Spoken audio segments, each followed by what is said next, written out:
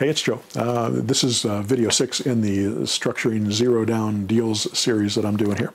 Uh, and I've talked about the five different zero down structures subject to multi mortgage, land contract or contract for deed, uh, lease option, and assignable cash deals. And uh, they all fit in that order uh, in a hierarchy. And I placed them in this hierarchy because it's a hierarchy of control. You want as much control as possible when you do a deal, and you want to give as little control as possible uh, when you, uh, you know, to the other party. So if you're buying the property, you want to be in control as the buyer. So on a subject to, you get the most control because you get the deed in your hand, and you have the least control if you're down at the bottom of the hierarchy on a cash assignable deal or a lease option. Those don't give you much control at all.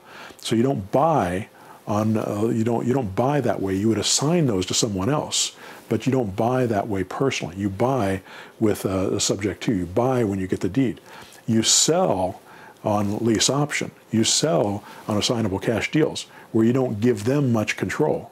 If they don't if they don't perform, then you don't close the deal and you can get them out of the deal quickly. If they do perform, you make your money and everybody's happy.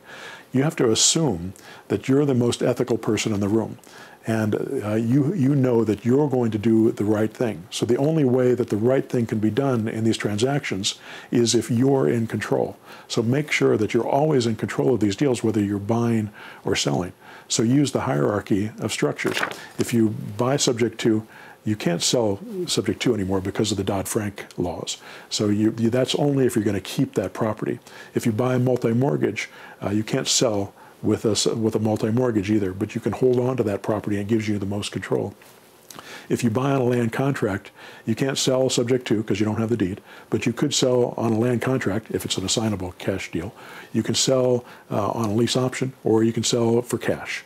Uh, so it gives you, if you sell, um, uh, if you buy on a land contract, it still gives you a, a, fair amount of control. If you buy on a lease option, you can't sell it on a land contract, you can't sell it on subject to, you can't sell it on a multi-mortgage, but you could sell it on a lease option if that was assignable, which is the main thing that we do in the for rent method, or you could sell it for cash. Uh, if you buy it as an assignable cash deal, you can't sell it on a lease option. You can't sell it on a land contract. You can't sell it on a multi-mortgage or, or a subject to, but you can sell it for cash.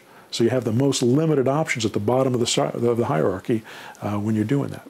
So try to get control of these properties where you have the most control, so you have the most options to sell it.